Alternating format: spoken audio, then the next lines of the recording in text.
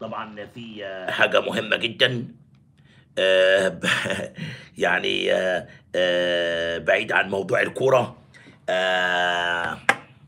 ال- الكرة والمنتخب يعني الزمالك. طيب طبعا للأسف الشديد النهارده هنفرد معاكم بتفاصيل رفض سبورتنج لشبونة رسميا كل محاولات تقسيط المبلغ المستحق لهم من نادي الزمالك. إيه القصة؟ القصة إنه رسميا خلاص وصل نادي الزمالك رفض سبورتنج لشبونة كل محاولات الصلح والتقسيط.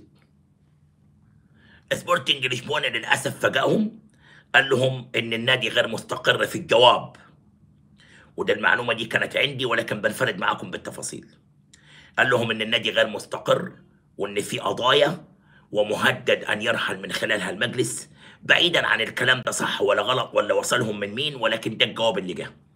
فهم بيرفضوا التصالح وبيرفضوا التقسيط رسميا وأخطروا الاتحاد الدولي. الكابتن حسين لبيب بصراحة الله يكون في عونه هو مجلس الإدارة وعندي انفراد مهم جدا في الإطار ده لأن عاجبني جدا الكابتن حسين لبيب في حاجة. يعني أزمة شيكابالا وسبورتنج لشبونة من أعتى الأزمات اللي بتواجه الزمالك لأن المبلغ كبير. اللي حصل إيه؟ اللي حصل على طول بدأ يتحول مجلس الإدارة والكابتن حسين لبيب من موضوع محاولة تقسيط المبلغ إلى شقين.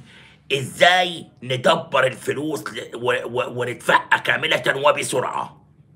الشق الثاني إيه اللي ممكن نعمله اتصالات؟ عشان نوفر هذا المبلغ. في خطين ماشي فيهم نادي الزمالك. الزمالك أنهى القرض بالدولار ومش هقول الرقم ولا البنك. ليه؟ لأن في مسؤول كبير في النادي الأهلي والكلام ده على مسؤوليتي. اتصل بذات البنك وقال له إحنا عرفنا إنكم هتدوا الزمالك قرض بكذا كذا كذا مليون دولار. إحنا عايزين زيه قال له والله نادي الزمالك قدم الضمانات اللازمة للحصول على هذا البنك آه، من البنك على هذا القرض. قدم الضمانات اللازمة للحصول على هذا القرض وإحنا شبه خلصنا مع نادي الزمالك. طب إيه إمكانية إن إحنا ناخد زيه؟ قال له معلوماتنا إن كنتوا واخدين قرض من بنك آخر فمش هنقدر نديكوا قرض بالدولار. فعشان كده مش هقول اسم البنك لأنه هم في النادي الأهلي عارفين من البنك ومعروف مين اللي اتصل برئيس البنك واتكلم معاه ومعلومتي مؤكدة. بس ده مش مشكلة يعني من حق الأهلي إنه يدور على إنه يستفيد زي ما بيستفيد الزمالك ومن حق الزمالك إنه يدور يستفيد زي ما بيستفيد الأهلي. وهم عنصرين كرة القدم والرياضة في مصر ولكن الشقة دي هتفضل وهي مباحه ما دام في الصح. عادي الزمالك خد قرض أنا عايز أخد زيه. ينفع أو ما ينفعش؟ عادي خالص. ففي النهاية البنك قال ما ينفعش. يبقى أدي الخط الثاني توفير الفلوس. واخد بال حضرتك؟ والدفع كاش. القرض بالدولار عشان يبقى عندي الدنيا في الأمان. خد بقى انفراد ثالث الزمالك أرسل خطاب للكاف. سري للغاية. وغير معلن. وطلب تدخل المهندس هاني أبو ريدة. عشان الزمالك ليه قرشين عند الكاف شوية دولارات كده عند الاتحاد الإفريقي. فالزمالك عايز يعمل شبه مقاصة. يعني القرشين اللي لينا من آه، فوزنا في الكونفدرالية وصعودنا والكلام ده على قرشين قدام متأخرين. على مش عارف إيه ما ندخلهم في موضوع سبورتنج لشبونة لو ينفع ويتحولوا direct بصفة إن هاني أبو ريدة عضو المكتب التنفيذي في الاتحاد الإفريقي وعضو المكتب التنفيذي في الاتحاد الدولي. فما نحولهم ونشوف الباقي كام ونبعته. حاولنا نتواصل مع المهندس هانا بوريدا وعرفنا الآتي. إن إن شاء الله هيبقى في تفاؤل في النقطة دي وهنا بوريدا هيقدر يعمل فيها حاجة. ولكن في جميع الأحوال مبلغ سبورتنج لشبونة جاهز مع الزمالك وهيتبعت كامل سواء إذا نجح هنا بوريدا في تلبية طلب الزمالك بعمل المقصة يعني لنا كام ونكمل أو اترفض الطلب الزمالك هيحول الفلوس بالكامل. علشان بس الناس اللي عاملة حملة على نادي الزمالك وتقول لك ما أعلنوش القيد. يا سيدي الفاضل ما أعلنوا في البيان. طب أنتوا النهارده بتهاجموهم ليه؟ عايزين إيه؟ طب أنا دين بقول لك أهو انفراد.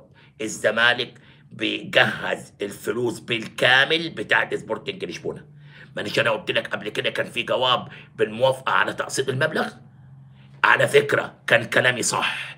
ولكن اتبعت بعد كده رفض للتصالح بعد ما اتبعت للناس تفاصيل قضية القضاء الإداري اللي في المحكمة. ولن نترك الزمالك يتهد مهما الناس اتضايقت مني. وأنا هنا بحيي مجلس حسين لبيب جدا جدا جدا جدا. وبقول لكم انتظروا. أنا قلت لكم 12 13 14 15 هيكون في بيان بإنهاء أزمة القيد والبيان طلع من مجلس الإدارة. أنت مش مقتنع بيه ده قصة تانية. وخلاص الزمالك أعلن. على 31 كل الموضوع هيكون خلصان. فكل واحد بقى يا جماعة يطمئن من الزملكاوية وما يسمعش للهدامين وخرابين البيوت. ما يسمعش لمين؟ للهدامين وخرابين البيوت. ويا ريت بقى إيه ما نقعدش بقى نزج باسم شيكابالا في الموضوع وكأنه هو عامل الأزمة. لا شيكابالا أسطورة من أساطير الزمالك عند الزملكاوية وفي الكرة المصرية. كمحمد مجدي قفشة اللي لما أنا قلت آه، شيكابالا أسطورة من أساطير الكرة في مصر. الناس كتبتني محمد مجدي قفشة اللي احسن مني ومنك في الكورة. وربنا يكرمه ونحسبه عند الله على خير. قال لك أتمنى يكون عندي واحد في المية ولا اتنين في المية من رجل شيكابالا الشمال. كنت هديت العالم. ده تصريح لمحمد مجدي قفشة. خلاص يا جماعة ربنا بيقبل التوبة. واللي بيقول استغفر الله يقول لك أحب صوت إلى الله صوت عبد النادم يقول أستغفر الله العظيم. ويقول يا رب سامحني. خلاص الراجل تجاوز وبقي كويس وزي الفل. هنقعد بقى البره ونقعد نقطع ونعمل لها شيكابالا أسطورة غصب عن أي حد. والزج في موضوع سبورتنج لشبونة إن هو ورا مش لا لا لا ده موضوع كبير ومش عايزين نألف في الدفاتر ولا نألف في الماضي. ولكن في النهاية سبورتنج لشبونة بعت رسميا عدم التصالح والدفع كاش. والزمالك بيوفر المبلغ كاملا. والقرض اللي بالدولار خلص. وفي جواب طلع من الزمالك للاتحاد الإفريقي عشان يطالبوا بالمستحقات المتأخرة بالدولار أو تدخل في أزمة لشبونه كمقصه واخد بالك؟ ما حدش هيقول لك الكلام ده في مصر. عشان بس إحنا عايزين نطمنك وبنحب الزمالك وبنتقي الله في الزملكاوية. واخد بال حضرتك؟ آه عندي كمان والله العظيم زعلت جدا كام يا محمد كام دقيقة لغاية دلوقتي 35 طيب عندي حاجة مهمة أختم بيها عشان بصراحة مش عايز أتكلم في أي أخبار تاني. آه عندي إيه؟ زعلان جدا على طلاق ياسمين عبد العزيز بن أحمد العوضي بصراحة. زعلان جدا. يعني هم اتجوزوا في 2020 وأدي آه العرافة اللي طلعت معايا قالت لي هينفصلوا. ومش عارف دلوقتي أنا جانا عطايا عملت لي روشنة. يعني في كذا حاجة بدأت هي كذب المنجمون بس هي مش منجمة هي بتعمل حسابات بالتواريخ. يعني قالت لي المنتخب مش هيكمل في أفريقيا فربنا يستر. وقالت لي هينفصل ياسمين و... وأحمد العوضي. طبعا صدمة. تلقاها المحبين. أنا شخصيا بحترم أحمد العوضي جدا وبقدره وبحترم ياسمين عبد العزيز جدا آه وبتفرج على كل آه حاجاتها. فالخبر صدمني ولكن يمكن وسط الصدمة لأن ما حدش يرضى ابدا بالانفصال لأنه ده اسمه خربان بيوت. وسط ده آه لما يكون في شياكة في الخروج ربنا زي ما شرع الزواج شرع الطلاق. ال- الزواج حبل ووثاق متين بين الإنسان وزوجته بضمانة الله. لأنه حبل الله المتين الزواج. ولما ربنا شرع الطلاق حتى يظل الطرفان في احترام وفي نفس الوقت آه، يكون العلاقة بما يرضي الله. كل واحد ياخد حقه. والسلام عليكم ورحمة الله وبركاته. ده اللي أنا شفته يعني رغم الحزن بتاع الانفصال يعني ال social media بتابعها كله زعلان على انفصال أحمد العوضي وياسمين عبد العزيز. لكن هم بصراحة الاثنين كتبوا إنهم آه، الطلاق تم بالفعل وفي هدوء تام ويبقى الاحترام بينهما. عند كلمة يبقى الاحترام بينهما يا ريت الإعلام لا يتدخل في الحياة الخاصة ولا يدخل في التفاصيل. لا خلاص. كل ده قال أنا إحنا انفصلنا وده قال إحنا انفصلنا ويبقى الاحترام بيننا. بلاك بقى إزاي حصل الطلاق وأحمد العوضي مسافر؟ آه ياسمين نرفز وما عرفتش تحتوي أحمد العوضي. كلام بص يا جماعة الشيطان يكمن في التفاصيل. وإن كنت مهما أقول الناس مش هترحمهم. ولكن كل التحية والتقدير لأحمد العوضي وكل التحية والتقدير لياسمين عبد العزيز وأتمنى لكل منهما حياة سعيدة موفقة وربنا سبحانه وتعالى يرزق كلاهما أفضل من كلاهما. يعني ربنا يرزق أحمد العوضي بمن هي أفضل من ياسمين ويرزق ياسمين بمن هي أفضل من أحمد العوضي. على فكرة المقولة دي مش أنا اللي بقولها المقولة دي دايما وابدا بيقولها العلماء عند الطلاق.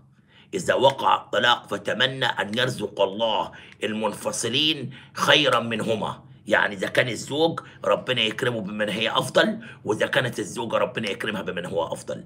سيدنا عمر بن الخطاب لما ماتت السيدة أم كلثوم بنت رسول الله صلى الله عليه وسلم واخد بالك أنت ذهب لسيدنا عثمان بن عفان. لقيه حزين وكئيب. أنا بس بقول الرسالة دي لأحمد العوضي وياسمين عبد العزيز. آه ومتضايق. فسيدنا عمر بن الخطاب أراد أن يلطف على عثمان بن عفان فقال له يا عثمان إني أعرض عليك حفصة بنت عمر للزواج. يا عم خلاص الله يرحم رؤية وعايز يطلعه من جو الحزن. فقال له إيه رأيك ما تتجوز حفصة بنتي؟ طبعا هو مش هيلاقي في الدنيا أحسن من عثمان بن عفان. فعمر بن الخطاب يعرض حفصة على عثمان يعني فسيدنا عثمان رفض آه، بالبلدي كده سيبني في أحزاني و... يا عمر ومش عارف إيه وأنا مش بفكر في الجواز دلوقتي. فالمهم راح سيدنا عمر لرسول الله صلى الله عليه وسلم زعلان جدا جدا. إزاي يا رسول الله أنا عمر بن الخطاب؟ الحسب والنسب بقى إيه؟ وعرق الجاهلية. يعني مش. يعني التفاخر بتاع الجاهلية. ركب دماغ سيدنا عمر وراح قال لك إيه؟ إزاي أنا عمر بن الخطاب أعرض بنتي على عثمان فيرفض كيف؟ فقال الرسول الكلمة اللي قلتها لكم ابتسم في وجه عمر وقال له تمهل يا عمر عسى الله أن يرزق عثمان من هو أفضل من حفصة. ويرزق حفصة من هو أفضل من عثمان. طبعا ما فيش طلاق حصل. أنا أنا بقول القصة دي بمناسبة طلاق العوضي وياسمين. لا بس بقول لك دايما تمنى أن ربنا يبقى يعوض بالأفضل. فتخيل أنت من في الإسلام وقتها كان أفضل من حفصة؟ ومن هو أفضل من عثمان؟ فبص مين بقى؟ فتزوج عثمان على فكرة هذه الرواية في كتاب آه، بنت الشاطئ أسماء بنت عبد الرحمن في كتاب نساء بيت النبوة. حصل إيه بقى؟ قالت لك إيه؟ قالت لك فتزوجت أنا رقية بنت رسول الله اللي بتحكي. قالت لك فتزوجت أنا من عثمان وكنت ذا النورين يعني بسببها بقي ذا النورين ولا يوجد في المدينة من هو أفضل من حفصة إلا بنت محمد. وتزوج رسول الله من حفصة فلا يوجد في المدينة من هو أفضل من عثمان بعد أبي بكر آه وعمر إلا رسول الله. واخد بالك أنت؟ ف بس يعني قلت آه، قصة من القصص اللي بتعجبني. فربنا يرزق آه، العوضي بمن هو أحسن من ياسمين ولها منا كل الدعاء بالتوفيق والنجاح في حياتها. ويرزق ياسمين من هو أفضل من العوضي ويرزقها النجاح والتوفيق. في حياتها ويرزق العوضي كل الخير وياسمين كل الخير. آه، ألتقيكم على خير واهدوا اهدوا اهدوا وإن شاء الله رغم إني متوقع التعادل مع غانا ربنا هيخيب ظني ونفوز وحتى لو تعادلنا قدامنا لسه الرأس الأخضر لو فزنا نبقى خمسة وننجح. وحتى لو تعادلنا مع الرأس الأخضر تفاءلوا بالخير تجدوه. ممكن نخش أفضل توالت هتقول لي نشحت بقى الدخول أحسن توالت ما يمكن ربنا من رحم المعاناه تأتي البطوله ألتقيكم على خير. السلام عليكم ورحمة الله وبركاته.